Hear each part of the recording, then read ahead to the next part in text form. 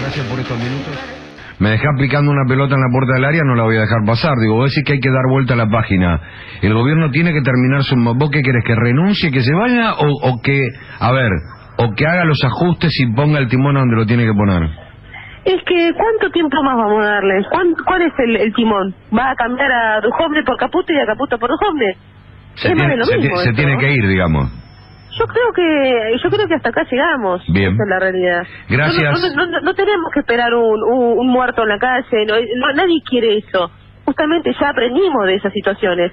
Necesitamos, lógicamente, que esto cambie urgentemente. María Emilia, gracias. Te voy a contactar con tu gente de prensa para poder tener una charla este, más abierta en algún otro momento acá en la radio. Gracias por estos minutos.